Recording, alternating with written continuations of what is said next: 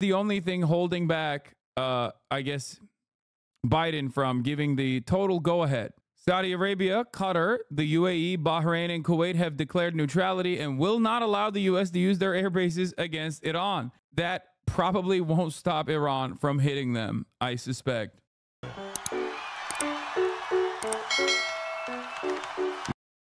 So we had to blow it up. there are some new details tonight on the election, which is so central to this war that we are covering here tonight. And a specific point about where Harris is gaining ground, crucial swing states, and we'll tell you why. Yeah, we blew up orphanage because uh, terror baby, Ukrainian Nazi baby. We find copy of Mein Kampf, Adolf Hitler. We find copy of Mein Kampf in Ukrainian orphanage. That's why we blow up orphanage. This is Ukrainian Nazi baby. That's that would be the equivalent of CNN literally doing that for Russia. Now, for you, if that comes across as like completely insane, that's because it is. Okay? It is. It is insane when Israel does it, and it's insane if Russia were to do it. Yeah. If Russia were to try and do that on CNN, which is laughable, of course, no Russian general is going on CNN. Okay? No one would believe it. But when Israel says it, everyone's like, oh, well, you know, that's probably real. And if you don't think so, you're anti Semitic. continue the fight until Israel ends its war on Gaza. And despite the setbacks, Hezbollah has demonstrated its capabilities to Israeli troops. The military has confirmed the killing of several soldiers since the ground operation in Lebanon began on Tuesday. So is Hezbollah prepared for a long battle with Israel? And how will it face discontent among Lebanese civilians at the prospect of another war? We'll discuss that and more with our panel of guests. But first, this report from Ferdi Akar. Israeli strikes pound Dahia in southern Beirut, just some of many in the past two weeks. A Hezbollah stronghold, it was here that the group's leader, Hassan Nasrallah, was killed in a major attack last Friday. It was the heaviest of many blows Hezbollah has sustained since October 7th, but not the first. In September, an Israeli airstrike killed Ibrahim Akil, the commander of the elite Radwan force and in July, Hezbollah Chief of Staff Fuad Shukr met the same fate. In September, the group suffered what it described as one of its worst intelligence breaches. Thousands of communication devices across Lebanon exploded in coordinated attacks, killing nearly 40 people, including children, and injuring thousands of civilians. The Israeli military says its air raid campaign in southern and eastern Lebanon has destroyed dozens of Hezbollah targets. You weren't that far off with your Russian bid. Russia bizarrely includes Sims 3 among evidence of staged assassination plot. Russian security services have been accused of ineptly staging a Ukrainian neo-Nazi plot to assassinate a pro-Kremlin journalist. Observers believe that the agents planning evidence somehow confused the three mobile phone SIM cards for the video game The Sims 3. Well, I have to believe this, you know? I have to believe this. And if I don't, it's anti Semitic. It's also killed hundreds of people, but the group says it won't give up. I guess it must have been true. Hezbollah Hezbollah will continue with its goals and its presence in the field. The command system and the Mujahideen will continue following your plan, our dear Secretary General, with the same precision and the steps you have drawn up. The Israeli military believes it has seriously degraded Hezbollah and announced a ground operation inside Lebanon earlier this week. But Hezbollah is operating on familiar terrain. It has already killed several Israeli soldiers. Oh, man. Ah, that makes me so sad. Well, I have a really good suggestion. Okay. I have a really good suggestion. Are you guys ready for this? Hold up. Big time suggestion. Uh, this will change the outcome of Israeli society. It's called Don't Fucking Invade Lebanon. Okay. And I have a secondary suggestion on top of that. It's called Stop Doing Genocide in Gaza. This will fix all of your problems. Okay. Really cool idea. Definitely should try it at least a little bit. Do you think Israel could get even more conservative support if they said started saying this is a war on the woke mind virus? Dude, they're already they're already maxed out on their conservative support. I don't even think I don't think that there is anything more than they can get. They're already like at 99%, you know? Hezbollah was born as a guerrilla movement. Um, and this is where it's most comfortable, quite frankly, engaging in these sorts of engagements on the ground, um, in these kinds of confrontations. And of course, Um, they have a fair amount of experience at doing. Bro, the only people that will be upset about not invading Lebanon is the Seaman Brigade because they all of a sudden no longer have semen to collect. That's it. I feel like that's a sacrifice that everyone should be willing to make.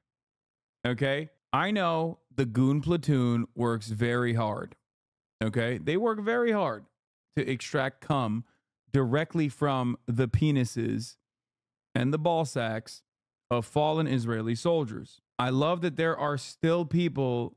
I love that there are still people who go, Is that really a thing? Every time I talk about it, every time I talk about it, there's always a motherfucker that's like, What? Nah, Google it. Google it. That'd be so fucking funny because woke mind virus is already something that has some sort of anti-Semitic undertone. It'd be like if Israel invaded Lebanon and said they're trying to stop the Great Replacement. Yeah, the the thing is they are doing that. They also do have the woke mind virus shit embedded. So like it's not that far off. They literally are doing that. Also, especially like Yair Netanyahu. Brother, you have a New York Times article out? What do you mean? So, what what what it's not incorrect. It's true. Israel has a cum extraction squad. That is real. That's a real thing. It's such a real thing that they literally have made YouTube videos about it. Like the IDF's own personal YouTube channel has released a YouTube video about the Seaman uh, Brigade. So you know, it's not like I I I didn't make it up. I I wish it was made up doing this um, in Syria over the past decade, and uh, I think that it's quite telling that in uh, in some of the first encounters, uh, Israeli forces have already suffered significant losses. The extent of the damage to the armed group's capabilities is unclear. It continues to fire missiles into Israel, and it has tens of thousands of fighters, well armed with the backing of Iran. Hezbollah says it won't surrender until Israel ends its war on Gaza. Freddie Akar, Al Jazeera for Inside Story. Let's bring in our guests from Beirut. We are joined by Sami Atallah, who is the founding director of the Policy Initiative, an independent Lebanese think tank. In London, Yazid Sayigh, senior fellow at the Malcolm H. Kerr Carnegie Middle East Center, and in Geneva, Joseph Daher, visiting professor at Lausanne University and author of the book Hezbollah, the Political Economy of Lebanon's Party of God. Welcome to the program. Sami, after a series of major setbacks, can Hezbollah rebuild itself? Well, uh, first of all, thank you so much for having me on the show. Um, Hezbollah has taken major blows in the last two weeks, as you very well said. The assassination of its leader, Sayyid Hassan Nasrallah, is a huge blow. Uh, its senior leadership has been decapitated, sorry, and obviously the attacks on it via the pagers uh, and other communication channels uh, really weakened the party. However, I think what we're seeing right now is that Hezbollah is ready for the war on the ground. In fact, Hezbollah has been preparing for the war on the ground. It's the war that it has prepared for for many, many years, for probably for 18 years. Mm-hmm. Unlike the war or the phase of the war that preceded this, which was an intelligence war, mm-hmm. uh, a war that is obviously with full airstrikes on Lebanon, Hezbollah is not strong at this kind of war. Hezbollah is waiting for the war on the ground. And in fact, the last two days, we've seen some major hits uh, to the Israeli army. So, given that the command and control uh, system is still intact, and given they're still able to uh, throw missiles at Israel, it seems from their performance on the ground that they have retaken the initiative and they're able to inflict at least uh, some pain to the Israeli army. Yazid, if we go back a few weeks ago, you see that Hezbollah has lost its top military commander, Fuad Shukr, its top political leader, Hassan Nasrallah, its number three, Ali Karaki, the leadership of its elite force, Al Ridwan uh, a sizable portion of its stockpile has been destroyed, according to Israeli military commanders. Is it fair to say that Hezbollah's main goal now is to survive this conflict without further major blows? I'm not sure I'd call that the main objective of Hezbollah at the moment.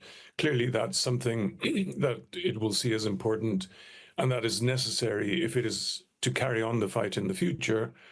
Um, but for now, it's basically waging, continuing to wage this war in continuation of the position it's taken over the last year, which is linking the Lebanese front with the conflict in Gaza, basically saying there will be a ceasefire in Lebanon if there's a ceasefire in Gaza.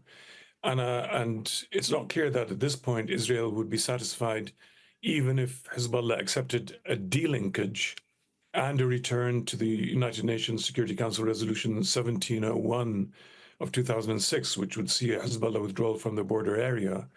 Um, Israel probably aims for much more than that now. Nonetheless, for now, I think Hezbollah is still pursuing that linkage. And that means that it's it's set itself up for more blows and more attrition, but it may be that it calculates in terms of its future interests that it's Okay, this is boring. I thought that they would. Uh, I thought that they would. Uh, I don't know. I thought they would get into like uh, more significant shit. Uh, is there a reason more people don't bring up the Dahia doctrine when defending Israel's terror on civilians with the human shields argument? People don't bring it up because they don't know about it. I have. I don't bring it up any longer because I've brought it up so many times. Also, you watch it every day. Is the Gaza strategy being repeated? Israel has warned people. Bro, I swear to God. Okay, Channel 4. Remember what I told you yesterday? Like they're slowly inching towards like good coverage. I told you every time there's like another hundred civilians killed, uh, Channel 4 is like, okay, we reset and now we are inching towards like good coverage on this issue because it kind of feels like uh, Israel's doing the same thing in Gaza or in Lebanon as they were in Gaza. To leave southern Lebanon for their safety and head north. But Beirut is north. These airstrikes into The Dahia Doctrine is the Israeli military doctrine that dictates that if you go to war with any group whatsoever, you fucking kill as many civilians as possible and you destroy as many civilian infrastructure as possible in an effort to universalize the punishment against whatever resistance group you're fighting against. That's it. It's like a super simple to understand concept. It's what America did. It's what a lot of major powers do, but it's uh, what America did in the Korean War. Uh, it's what America did in Vietnam, and it is what Israel does as well. Like the deliberate effort, uh, or the the deliberate means in which you universalize and collectivize the punishment up on top of a civilian population.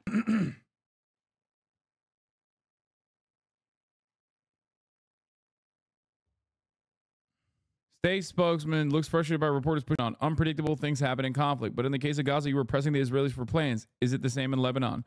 We're having detailed conversations. You said the Israelis don't know what's going to happen. Is it okay for a country with U.S. weapons to go into a conflict with no way out? Hold on, relax. Um, uh, we're going to watch as this unfolds, and we'll make our assessments as, as in real time as they occur. The U.S. doesn't know how long this will take. I don't think if you asked Israel, they could tell you how long. It, it is the nature of a conflict that it is dynamic, right? But in the the, case the- of- hold on, listen to me. The, the, the, it is it, unpredictable things happen in conflicts. Um, the enemy responds in a way oftentimes this that you don't expect. already? This isn't to prejudge any possible outcome. It's just to say it's a fluid and dynamic situation. And I think all of us ought to be cautious in pretending to to to say I hate this freak. Um, this is the latest uh, Al Jazeera documentary. The guys that worked on it uh, wanted me to watch it. I don't know if we have enough time to watch it today. It's a brutal documentary about uh, all of the war crimes, all the war crimes, or not all of them, but some of the war crimes that uh, Israel's engaged in in Gaza specifically. What the do you? This freak that guy was being smart. What? Thing is, guys, and I have uh, I have repeated this over and over again. Uh, Yemen Houthis have released a video showing their October 1st missile attack on the Panama flagged oil tanker Cordelia Moon, which they claim is a British vessel. They say the disruption of Red Sea trade will continue until there's a Gaza ceasefire. Houthi drone slams into ship, hits another in the Red Sea attacks. Um, so the thing is, Hezbollah is Hezbollah is a guerrilla move, uh, uh, is a guerrilla resistance group. They are decentralized by nature.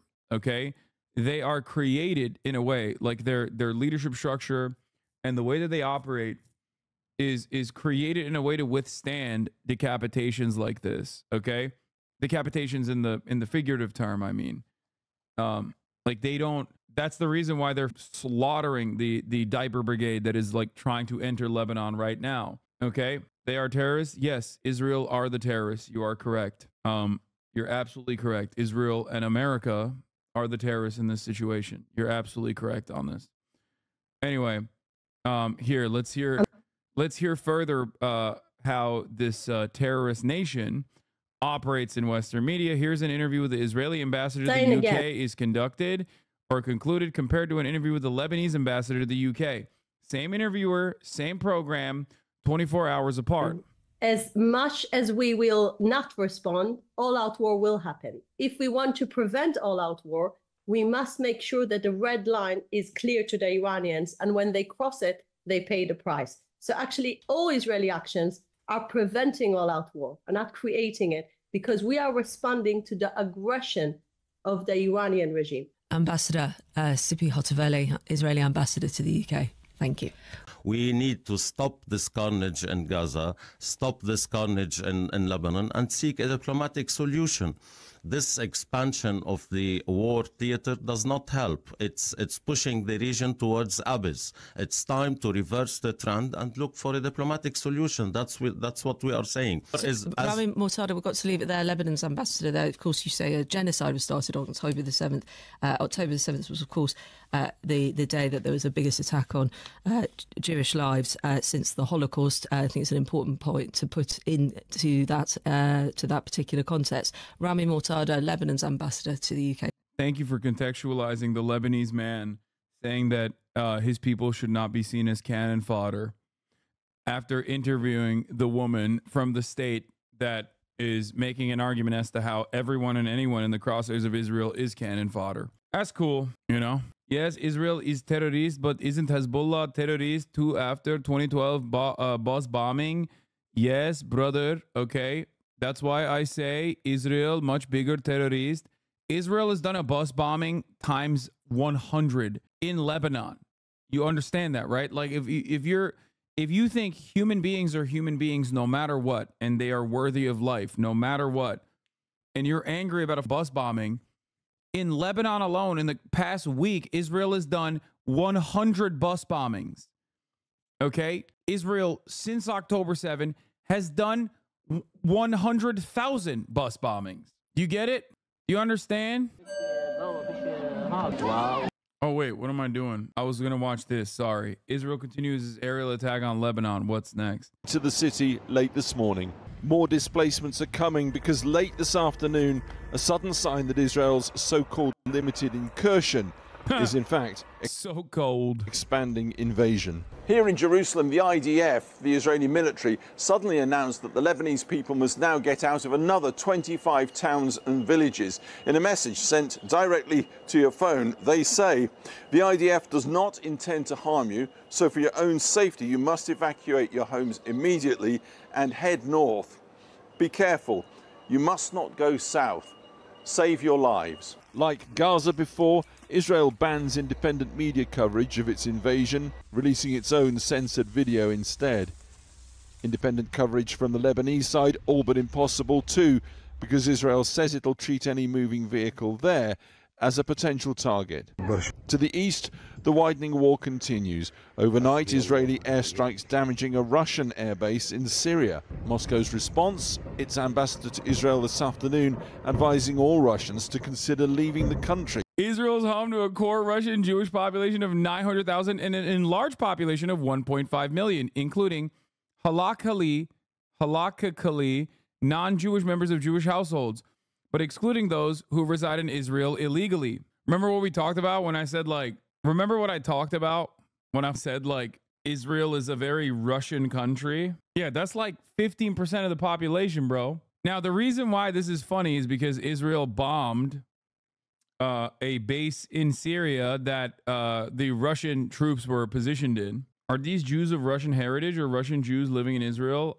Um, both, but also a third thing that's even funnier, which is just Russians, like not Jewish, just Russians, which is why it's which is why it's really funny. Let's just say Israel, not a very white nation, like by the standards of your eyeballs, uh, I'm not using whiteness as a socio-political concept here. I'm saying like white as in like I would be white. You know what I mean? Like pale skin. Um, but it still tries. it tries to white itself. Some of those some of those initiatives uh, yield results such as this one. So anyway, this is why it's really funny when Israel uh, ends up blowing up a position in Syria that is uh, a little too close to a base that Russian soldiers are operating out of. And then Russia turns around and says, You guys need to leave Israel. When Russia says you guys need to leave Israel, that means like Israel is going to have a massive population exodus. They're not going to leave anyway, but I suspect that it's a mistake that Israel will never repeat again. Many Russian oligarchs have Israeli citizenship and are actively evading sanctions because of it. Israel is also historically good ties with Russia and even Putin. Yes. Yeah, Russia is not going to attack Israel, dude. What do you mean? They're not going to attack more Russia. Oh wait. Someone someone was someone in my Discord was talking about how like um Russia would never attack an area with like millions of of ethnic Russians. And it reminded me of how Russia certainly didn't do that in eastern Ukraine. The only thing stopping Russia from attacking Israel right now is the fact that one, they have, you know, decent relationships. Uh, and also on top of that, yeah, Russia is gonna Russia is gonna start doing a Donetsk Donetsk in in uh, Israel. They're gonna be like, wow, we gotta denazify Israel. There's a there's a lot of uh, there's a lot of ethnic Russians that speak Russian. It's the third most popular language in Israel. We have to take it over. Sorry, that's what they're gonna do. Yeah, the only thing that's actually stopping uh, Russia from doing anything against Israel, aside from their uh, trade relations, is uh, yeah, suspected Israeli airstrike hits near Russian airbase accused of housing weapons in Syria. Um, is is the fact that they got they're too busy with their own, which is funny because it's like that's why I always laugh whenever they're like, man, Russia's gonna help Iran and Russia's gonna help Lebanon and all this, all the like, uh, pro Russia, pro Palestine, uh, chatters. Well, not even chatters in this community, but like people that chirp online are like, dude, what are you talking about? Like, do you, do you not recognize that Russia's got his own to deal with? Anyway, they have to deal with the top of the hour ad break. Just kidding, they don't because they're all using VPNs to watch me. If there are even any Russians in Russia that still watch after your government called me gay, which is not banned here, but no ads. All right, nice. Uh, here's the three minute ad break now. Unless did Russia really call you gay? They just said I'm like a like a gay live streamer instead of dying in a, in the grayest town you've ever seen to like a Ukrainian drone dropping a grenade in my lap, which is what manly men do. Here's a three minute ad break now. What the is this beautiful thing? Holy trail camera captures stunning footage of lynx in northern Minnesota. That's fire. But yeah, a suspected Israeli airstrike reportedly hit near a Russian airbase in Syria, accused of housing weapons for Iran as terror proxies. Up to 30 missiles were fired at a target near the Khmeimim airbase in Latak- Latakia, Latakia, with footage spreading online. A massive explosion in a Russian, Russian facility overnight. The appearance of the secondary explosion suggests the, star, uh, the strikes hit their munitions depot. The attack occurred an hour after Iranian Qeshm Fars airplane's cargo plane, which had been delivering weapons, landed at the base, Telegraph said, citing reports in Syrian media. The airline has previously been accused of transporting weapons for Iran's Islamic Revolutionary Guard Corps. There have been no official confirmations about the attack, which was cited by Russian wartime bloggers and Lebanon mil- media groups, who suggested drones were used in the strike. Footage of the alleged attack has also been picked up by Ukrainian officials and media outlets, celebrating the attack bordering their Moscow enemies. Ukraine Center for Strategic Communications claimed without evidence that the strike decimated the, Ukra- the Russian airbase, lauding that Russia's red lines exist only in fairy tales. Prior to reports, dude, dude, dude, dude, Ukrainians are so cucked. They're so cucked. Like, I- I'm sorry, brother, brother. You should be the last people on the planet celebrating Israel's bombing campaigns, okay? Every bomb that Israel uses is a bomb that you could have used, okay? That you could have used using. Like like you need it more, man. You need it more. You need it more. And you're over here celebrating Israel using your bombs. You're like, yeah, hell yeah. Done did use. Bro needs a coffee. I need to sleep, dude. I'm I am not all right. Okay. Ladikia. That's how you pronounce Latikia area in Syria. It's an Assad stronghold. What is this? I want to thank your dad for his service and all he did to remodel the lower Manhattan skyline. It's called Lazikiye. Lazikiye in Turkish, Unk. Anyway, that was neither here nor there. Let's take a look at uh, Israel's Confirmation today on that the US and Israel are discussing bombing Iranian oil. We're in discussion with that. I think I think that would be a little anyway. Well, anyway, yeah, you're not discussing old man. That's why I said whenever Joe Biden says like Israel, don't do that. Just know that Israel is going to do that. Okay. Put global oil 4%. Back in Israel, satellite images of the Nevatim airbase show damage done by Iran's missile barrage on Tuesday night. Israel confirmed the hits but said they had no. Dude, for those of you who don't understand, okay, I, I'm going to repeat this one more time. It's something that I've mentioned months ago when talking about like a broader conflict and why it would actually greatly damage the global economy. If Israel strikes Iranian oil depots, Iranian oil refineries, Iranian energy infrastructure in any meaningful capacity, Iran has vowed to retaliate against the entire Gulf. Iran has, in the past, by way of the Houthis, maybe it was Iran, maybe it was the Houthis, who knows, struck Saudi oil refineries. They are, if you look on a map, not that far off from being able to strike the entirety of the global, not the entirety, but a big chunk of the global oil production. They have said, once again, if you hit us, we will hit all of your oil refineries. It's think about it like this. It's a mutually assured destruction button, right? It's a it's the exact same principle. It's like nobody wants to use nukes, but if you use nukes, then the enemy will use nukes as well. And here it is. The military official of Kataib Hezbollah in the Islamic resistance in Iraq, Abu Ali al Askari, says, In the name of the Almighty, if the energy war begins, the world will lose 12 million barrels of oil per day. As Kataib Hezbollah previously stated, either everyone enjoys the blessings or everyone is deprived of them. As in, they are going to they're going to put an off switch on the global economy. Okay? This is the only thing holding back uh I guess Biden from giving the total go ahead. Saudi Arabia, Qatar, the UAE, Bahrain, and Kuwait have declared neutrality and will not allow the U.S. to use their air bases against Iran. That probably won't stop Iran from hitting them, I suspect. Don't tell end of oil protesters. Yeah, Fango Lives is in the chat right now, salivating at the prospect.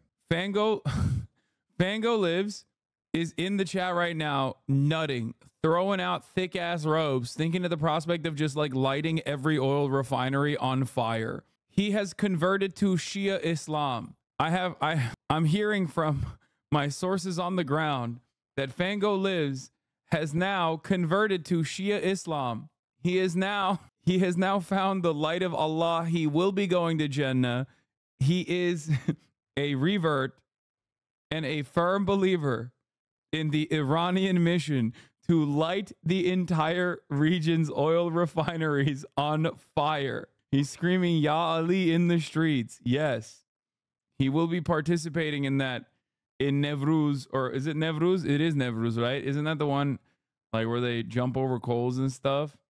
I don't know. I'm Sunni. I've you think these Najaf clowns will go up to oil fields in northern Iraq tell the Kurdish clans, oh, stop making money off of oil or we will shoot you and not go back to their in the south? Listen, all I'm saying, I'm just reporting. Nevruz is not Islamic. What is it? What is the thing that the, the Shias do? Don't they do this thing? I don't know. No, not Ashura. Isn't, wait, what? The self flagellating uh, thing.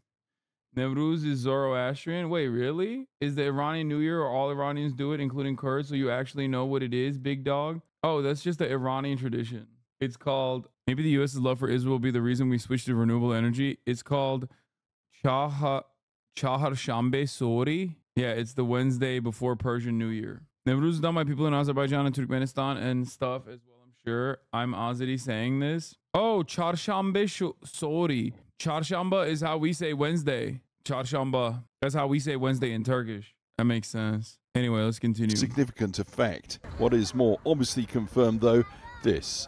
The remains of an Iranian ballistic missile still lying where its mission came to rest in the southern deserts of Israel. And Alex joins us live from Jerusalem with the latest. Yes, I mean, where does this leave Israel tonight? A strange confluence of moods simultaneously. Of course, on the surface, it is the Jewish New Year, a time for families to get together, businesses to close. Everything is, is, is very muted uh, and quiet uh, uh, around those celebrations, and they are particularly muted. Uh, Jerusalem itself, quiet, of course, there's no very few tourists here. During Ashura, the Shias bring out machetes and slap themselves with them as punishment for killing Ali.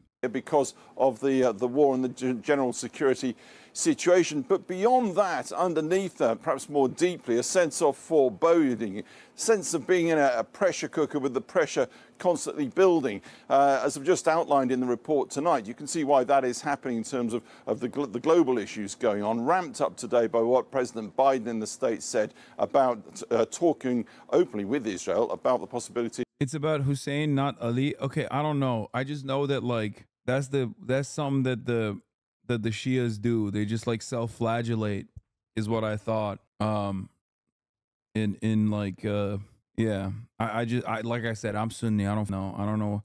Everyone's a little Shia nowadays, but like I said, I I don't fully know what the what the thing is that people do. Of striking Shias are the Catholics of the Muslim world. oil installations in Iran. Uh, the sense, of course, it is a question of when, not if, uh, Israel will retaliate to those 181 missiles fired a couple of nights ago by Iran into Israel, and of course, what then Iran may do in response should that happen. Hudrellez isn't don't they also do uh don't they have like a candy too? Hudrellez uh starts on the night of May 5th and ends on May 6th in the Gregorian calendar and April 23rd on the Julian calendar is observed in Turkey, Crimea, Syria, Iraq, the Caucasus, the Balkans. Yeah, obviously this is not an Iranian thing, bro. What are we talking about? Hudrellez is regarded as one of the most important seasonal bayrams, which is a festival, a holiday in Turkey and parts of the Middle East, called the day of Huzur. Ruz Huzur in Turkey, Hudrellez is celebrated as the day in which the prophets Huzur, Al Qadir, and Ilyas met on earth. They have candy too, no? Like not şeker bayramı gibi değil de başka bir başka bir şeker yok mu? Vermiyorlar mı şey için? Kaldırıyor. Yanlış mı hatırlıyorum? It's like Okay, whatever. What are we doing? I'm just like talking about the dumbest right now. Alex Thomson, well, nine people were killed during It appears that Turkish tanky Piker has ar- arisen. the night here when an Israeli strike hit a medical center run by a group aligned with Hezbollah in the heart of the city, as Alex just reported, not far from the Parliament building and Western embassies. Israel described it as a precise attack. Earlier today, I went down to the scene of that attack. Most Israeli airstrikes in Beirut are concentrated around the southern area known as Dahir, populated by Hezbollah and where Hassan Nasrallah was killed last week. But this blast in the Hassan center of Beirut was close to the rich downtown areas of a city that had in recent years become a Middle Eastern playground. Nobody here was expecting to find themselves close to an airstrike. In a normal residential neighborhood, people are shocked and upset that they are not just clearing away the debris, but finding out who was killed and what's happened to the injured. Four are still in hospital. Ten have been released. This is not a Hezbollah area. The dominant group here is another Shia organization called Amal. And this building was a sort of a civil defense headquarters with a health center on these floors that were targeted around 2.15 in the middle of the night. The locals here say there were 10 or more people in it at the time of the airstrike, and many of them have ended up dead. As the war Weren't they healthcare professionals? Did you know the idea of also targeting and bombarding Christian communities in Lebanon? My cousin who visited Lebanon recently told me his friend's home was annihilated. He's also Catholic. Yeah. No, I, I, I did know that, yes. war goes on, Amal is effectively aligned now with Hezbollah. The Israelis say they were targeting terrorists. Were these people terrorists?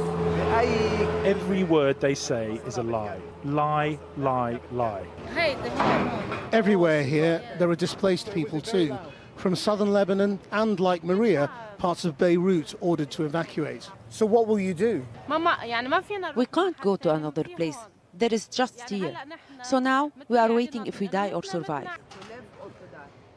We were in Mais al-Jabal in south and came to Beirut, to our house in Dahi. When the strikes took place in Dahi, we came to this school because we don't have a house. Where we will go. Beirut houses almost half the population of Lebanon, but hundreds of thousands have had to flee their homes already. And most think things will only get worse tomorrow. Well, Israel warned residents of more villages and towns in southern Lebanon to evacuate to areas over 30 miles north of the border. But much of the land near the border is already deserted, with hundreds of thousands of people fleeing their homes in fear that Israel's ground invasion could be expanding. Our foreign affairs correspondent, Secunder Kermani, is in the southern city of Tyre, where the streets are virtually empty. Secunder. Well, Christian, we've been hearing both incoming and outgoing fire throughout the day. We can't really get any closer to the border, partly because Hezbollah uh, have told us that we're not allowed to do that, partly also because the Israeli army has warned that any cars traveling from north to south in the region could be targeted. So it's hard to build up an independent picture of what's happening in terms of Israel's ground incursion into southern Lebanon and Hezbollah's fight back against it. We do know that close to the border, a Red Cross convoy today was uh, struck by a, an Israeli strike, that four paramedics were wounded, and that one Lebanese uh, government army soldier was killed.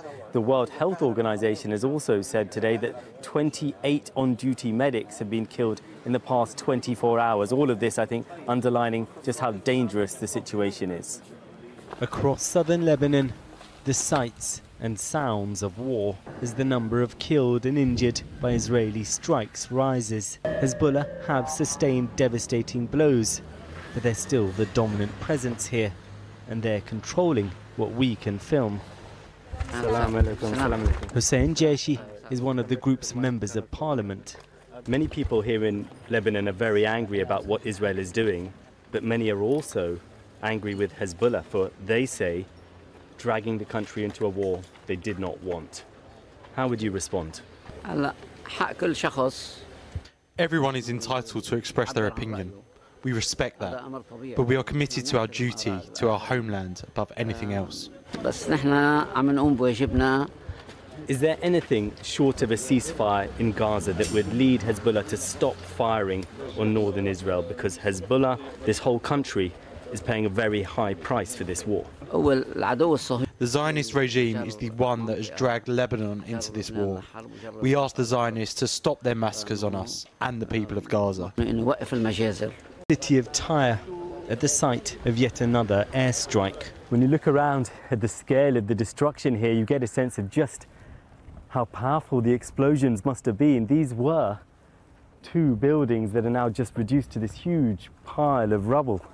People's. That's from the Guardian article targeting paramedics. Paramedics say they began to notice a pattern with the strikes. Whenever they arrived at a location to start rescue operations, they said Israeli airstrikes would follow. They're double tapping specifically to they're double tapping specifically to hit paramedics. And um not saying Zionist regime, he's saying Zionist enemy. Why don't they translate right with the with the Arabic? Uh I don't know. Personal possessions, children's toys strewn amongst the debris. Israel accuses Hezbollah of hiding its fighters and weapons amongst the population. Hussein's wife and daughter were amongst those killed here. There were no explosives or rockets here, he says, but we are used to this. Our blood, our bodies, our children are all for Sayed Hassan, referring to the slain Hezbollah leader. Hezbollah is firmly enmeshed into all aspects of life here, running a state within a state. It even has its own civil defense team. Seven of its members were killed in Beirut overnight.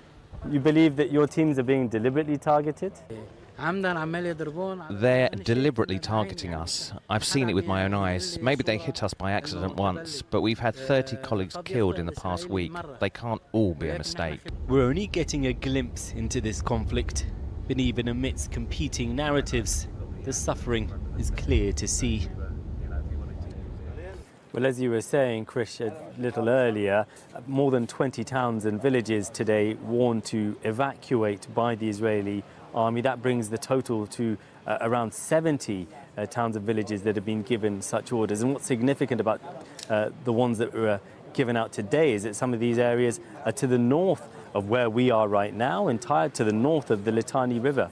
So that's deeper into Lebanon than the area uh, Israel had previously been talking about pushing Hezbollah out from, and that's only going to strengthen fears about the possible eventual scale of Israel's offensive here. Secunder Kermani. Now, today, of course, is Rosh Hashanah, one of the biggest Jewish holidays of the year. So there are few people in Israel giving television interviews. But from here in Lebanon, joining me now is the Minister for the Economy, Amin Salam. Thank you very much for joining us tonight. This economy was already in such trouble. What is the impact of this war? Well, good evening. Thank you for having me.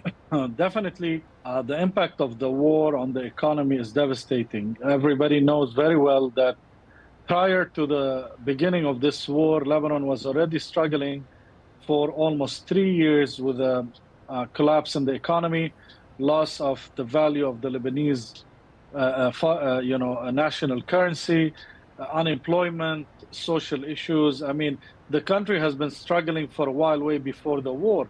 The war came to add yet another layer of challenge to Lebanon. Uh, uh now we're talking about over a million displaced people, uh, not to mention the million and a half million or 700,000 uh, Syrian refugees that are still uh, uh, in Lebanon.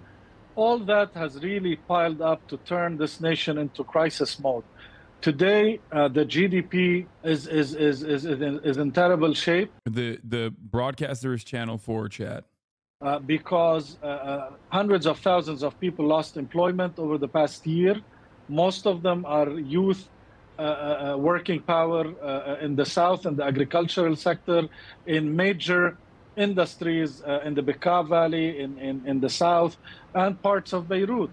So let, let that alone. We're not talking yet about losing entirely the tourism season, which was uh, a very major, major, major uh, economic support to Lebanon the past three years, given that it was on, one of the yeah. few remaining sectors uh, pumping cash into the economy. So now we're not talking anymore about growth. We're not talking about GDP getting better. We're talking about a big emergency cost on Lebanon that is going to last, and we don't see the end of it yet. Yeah, I mean, um, Minister, so many people, as you say, are displaced. They're not working, they have no income. At what point are people going to start running out of money to, to eat? Well, the good thing is that the government had in place, I mean, given the fact that we've been functioning in emergency mode for many years before the war started. So thank God we, we are good on, on the food security level, on the medical aid level. That's how we're keeping the people surviving now. But the biggest challenge now is if we don't reach an immediate, and I say immediate ceasefire uh, with serious talks for peace, uh, the uh, you know uh, the, this war extending uh, for longer or expanding further will get Lebanon into a very critical place. It will get the economy into a point of no return. That is where people will begin really facing serious challenges, having income, having cash. They will probably be spending everything they have left in the next few months if they are living in the streets and are having no jobs. Right, but when you talk about ceasefire, the Lebanese army was drawn into the war today, returning fire against Israeli troops in the south, and you have lost soldiers to that war already. I mean, you're being drawn in, aren't you? Well, I mean, I said I said a few days ago, it's a full-fledged war against Lebanon. I mean, the, the Israeli side is saying that, you know, we're targeting Hezbollah, we're not targeting Lebanon, we're not fighting the Lebanese people while they're bombing the city. I mean, I'm, I'm talking to you now yep. from less than a mile away from where the explosions had happened last night. And that is even two miles less from the governmental palace. So drawing the Lebanese army in is, is very dangerous, is very critical.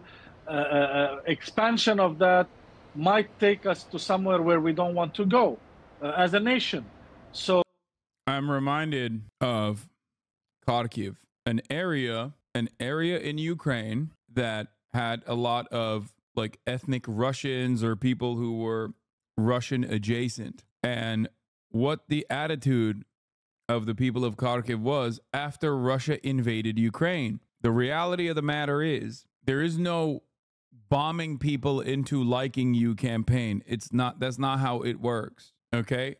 You don't bomb people into being like, "Oh, well I love these guys." I love these guys now. Thank you for bombing me. That's not how it works. It, it, it's the same. It is the same exact idiotic principle behind. It is the same exact idiotic principle behind what uh, the Americans said about uh, going into Iraq.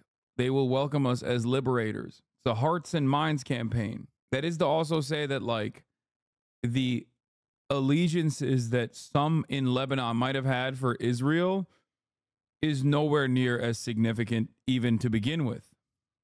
Right, but, but when, Uh, we when you talk about ceasefire, I'm sorry to, to, to interrupt, but when you talk about ceasefire, No, no, go ahead. isn't the fact that Hezbollah has said they are not prepared to ceasefire without a ceasefire in Gaza? Well, the government's message today uh, was very clear from our prime minister, minister of foreign affairs, after their, uh, uh, you know, meeting as well with the speaker of the house, uh, uh, President Berri, that the entire government, with all its political parties, Hezbollah included, uh, are in favor of a ceasefire. But the Israeli side is not helping with that because the Israeli uh, side is not showing any intention of ceasefire, any uh, flexibility. It's just a continuous attack on Lebanon and on the people of Lebanon. Uh, Mr. Salam, Minister for the Economy, thank you very much indeed for joining us. Yeah, when Israel says they're just bombing Hezbollah, that isn't exactly meant for the Lebanese people. That's for Western ears to hear. Exactly. It's for it's for Western ears to hear and analyze and think, oh, they're doing a great job.